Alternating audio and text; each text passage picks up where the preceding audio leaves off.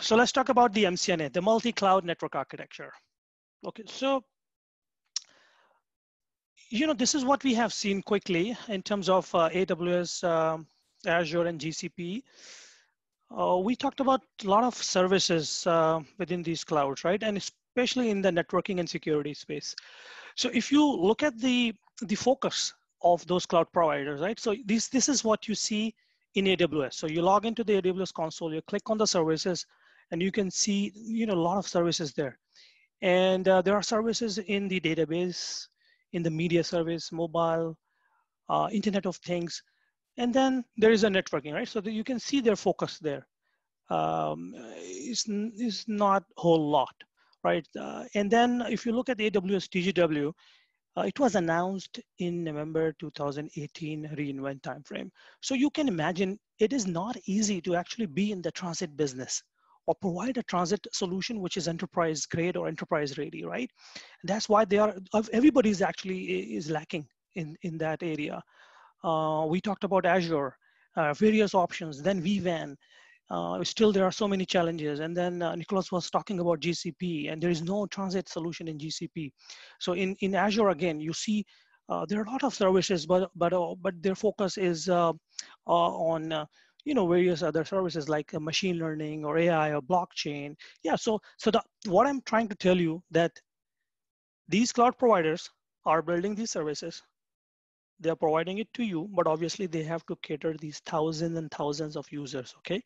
So it's not very easy to provide a feature or a service that your enterprise need. So you need partners like Aviatrix or the, the architecture that we have so that you can actually enable or deploy or use those features that you need. For example, BGP, uh, ASPath prepend, very simple thing, right? But no, it's not available in the cloud. So how would you achieve that? So this is where we come in, we provide you the architecture and the solution. And same theme you will see in GCP. In GCP, you see a lot of services there. Um, and then in the networking space, they have uh, the things that you need from, you know, very primitive perspective, right? So yeah, I will give you these constructs, you take it and you deploy it, but that's it. If you want something else, no, sorry, I cannot because I have to support these thousands and thousands of customer. If I make even a single bit change there, it's gonna affect everybody. So I have to be really careful. That's what these cloud providers will tell you. All right, so if we look at uh, uh, these services, um, they have kind of similar concept, but not really similar because the implementation, the limitations, the challenges are very different, right? So like, for example, this um, private link to DC, uh, AWS calls it Direct Connect, Azure calls it Express Route, GCP Cloud Interconnect, but they all have their own uh, limitations and challenges. So this is what we have seen. We have seen customers they are moving from uh, physical on-prem data centers. So, they thought maybe private cloud is the solution. This is going to solve their problem but no uh, this is not the case uh, and then uh, they are moving into the cloud but the problem is that there is no architecture right so people started deploying their applications. Developers went in, they put their credit cards in, they said, okay, I'm gonna deploy this application. But in the process, they created these, these snowflakes, these unicorns. Like security group was used here in this VPC, but in the second VPC, I'm using the Check Point firewall, for example. And then how would I uh, expect the traffic between these two? I don't know, right? I'm the developer, I'm not responsible. So there is a big architecture gap at least in the physical world, we had some reference architecture.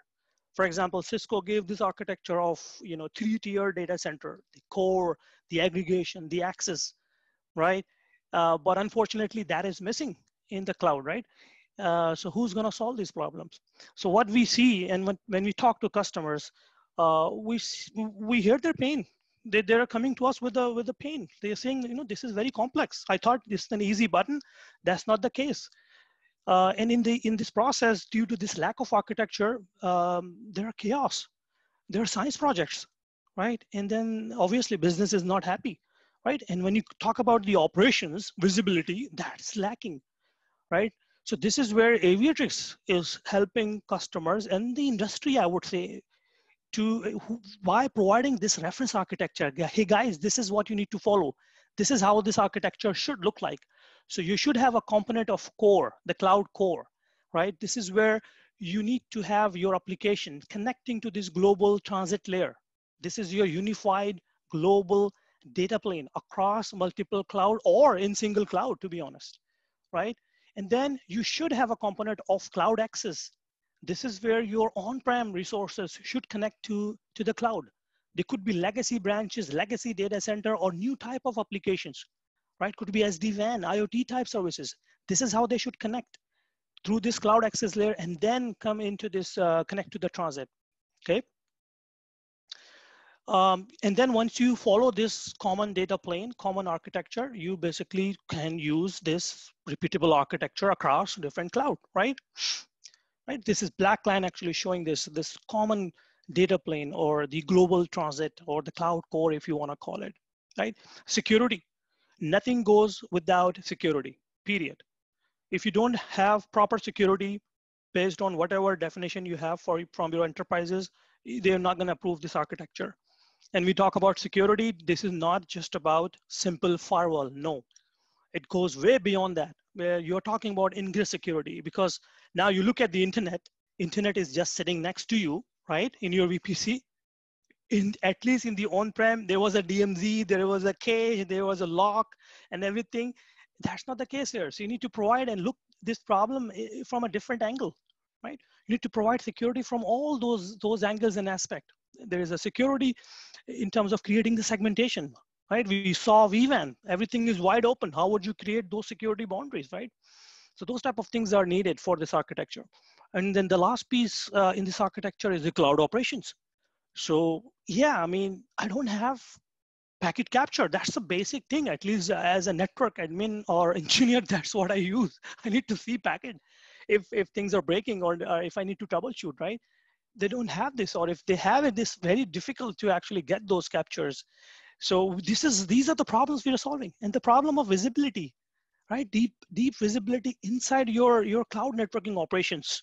Where my vpcs are. I mean this customer i have is a giant um, uh, you know in the uh, in the sports business. I don't want to name it because it's not public reference but they are using our copilot just so that they can figure out or see where those VPCs are, how they are connected, and how the instances are connected to those VPCs, if they are under, under compliance or not, right? So this is, these are the challenge we are, challenges we are solving for a lot of enterprises. So yeah, so that's what I said. This MCNA architecture, it's a repeatable architecture. Um, you can use our, our Aviatrix controller. This is the control plane, and then these red circles are data plane. Um, yeah, I'm kind of uh, jumping here because uh, Nicholas is going to cover these in detail. Uh, but I think it's important that when I show you this architecture, I kind of paint the picture of how exactly it's going to be deployed using Aviatrix technology. So this is how it looks like, right? So you deploy this architecture in single cloud. If you have multiple regions, again, same thing, same architecture is applicable in the multiple region, right? So you, this is a cloud access, your SD-WAN coming in. This is your your enterprise backbone connecting these transit together. You have the, the DC uh, direct connect coming in. And if you copy paste or repeat this architecture across multiple cloud, right? It's, it's a one-time effort to build this, this architecture, but then it's a lot easier to just copy paste and reuse this architecture in other cloud. So I have VNets, all the Azure thing here, right? So same thing, right? Same operational visibility, same consistency. GCP, same thing repeatable architecture, very important. So these are the benefits um, our customers are getting when they are adopting this MCNA architecture or um, uh, the repeatable architecture, the global unified data plane that we have, right? That's, that's very important. Uh, it's a flexible and modular design. You saw the, in the architecture, there is a component of uh, service insertion, service chaining, which is built right into the transit. So if you want to insert a firewall, a Check Point firewall, for example, and you want to create the policies, you can actually realize that easily through our controller.